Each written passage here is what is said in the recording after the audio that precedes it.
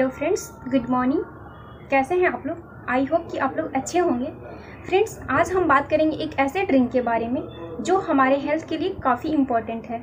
जैसा कि आप लोग जानते हैं, हमारे इंडियन खाने में स्पाइस इतना ज़्यादा होता है कि हम ना चाहते हुए भी वेट गेन कर लेते हैं। और खाना तो हम छोड़ नहीं सकते हैं, और उसमें भी सबसे बड़ी बात कि हम जंक फ़ूड भी खा लेते हैं, जो कि हमारा वेट बहुत ज़्यादा गेन हो जाता है। और लाइफ इतना बिज़ी है कि हम चाह कर भी न जिम जा सकते हैं, न वर्कआउट कर सकते हैं, न वॉकिंग ज़्यादा टाइम तक कर सकते वेट गेन करने से बचने के लिए या वेट लॉस करने के लिए हमने एक ड्रिंक तैयार किया है।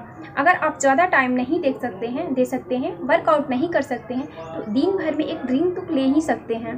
अगर आप अपने हेल्थ का ध्यान रखते हैं तो या आप हेल्दी रहने के लिए भी ये ड्रिंक यूज़ कर सकते हैं। तो चलिए स्टार्ट करते हैं। इस ड्रिंक को बनाने के लिए हमने क्या क्या लिया है? इस ड्रिंक को बनाने के लिए सबसे पहले हम एक गिलास पानी में एक इंच अदरक के टुकड़े को कूट कर और डाल देंगे, जिससे कि अदरक का जूस पानी में अच्छी तरह से चला जाए। और अब इस पानी को हम उबालेंगे। जब पानी में उबाल आ जाए तो हम इस पानी को ग्लास में निकाल लेंगे।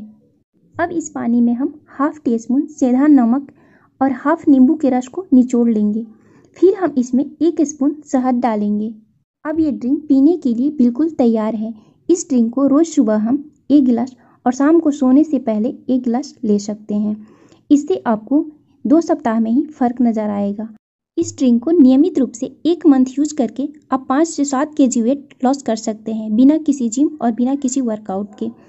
अगर वीडियो अच्छी लगी हो तो लाइक करना शेयर करना एंड चैनल को सब्सक्राइब करना।